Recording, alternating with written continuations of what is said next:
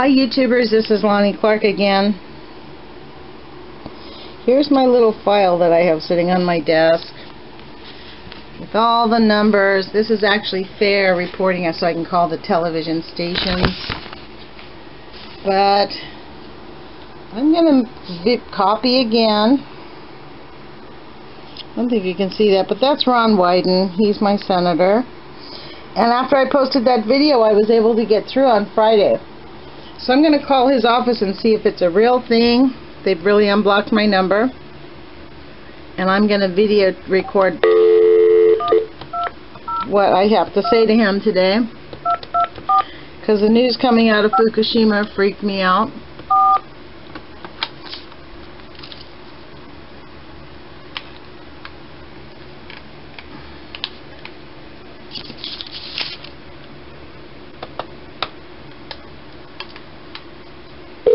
Put it on speakerphone so we can hear what goes on. Senator Wyden's office? Uh, yes, this is Lonnie Clark, and I live in Eugene, Oregon. And I am calling about uh, the news that came out of Fukushima today that uh, TEPCO's admitted that they haven't decontaminated anything and they're not able to do it. And I actually am super concerned. I know this is one of the items that Ron Wyden really pays attention to. But I'd like to know what the American government is doing about it. Like if there's something going, you know, I feel like we're being left like ducks, you know, sitting ducks to just be slammed with who knows what kind of catastrophe could be happening. So I'd like to figure out if there's any way to get a response or where I could go to access some information on what the government is actually doing about Fukushima.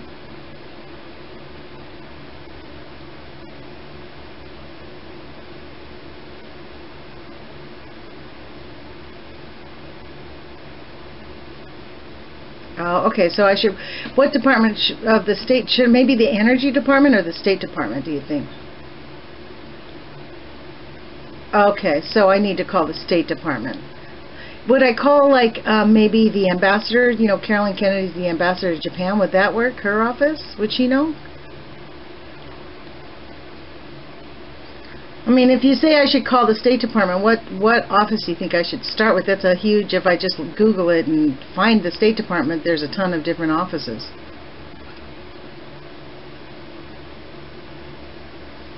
And then maybe the ambassador's office will tell us where to go. Okay, well, you know what, I really appreciate your time, and, you know, I know this is a terrible, a horrible issue for all of us to have to deal with, and I know that Senator Wyden is attempting to be on top of it as much as anybody can, but I, would suggest the message I'd leave for the senator is that really it would be a lot more comforting if we would have government updates, like have our officials just come out and tell us, so we're just not sitting here wondering, you know, when the axe is going to fall. Do you know what I mean? If we could hear what's going on, there might be a lot less anxiety over it. Well, thank you so much for your time. You too. Bye-bye.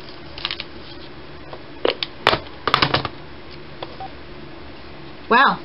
Well, so you guys got that whole conversation. I'm going to hang up and post this up. And uh, evidently my little video of me videotaping it and posting it on Facebook was effective because I got right through. So there you go for uh, making sure that things work for yourself. There are ways to get it, you know, through the system. And I guess this is part of the Post-Ignorance Project. We're a human rights organization. We're not an anti-nuke organization. It is our human right to know what the damage is that's being caused by the nuclear industry instead of them just twisting like pretzels in denial.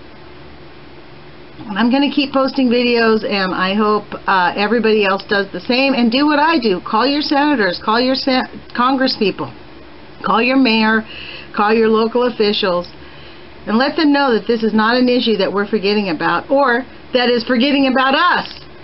We're under direct threat from Fukushima every single day. Ciao, you guys.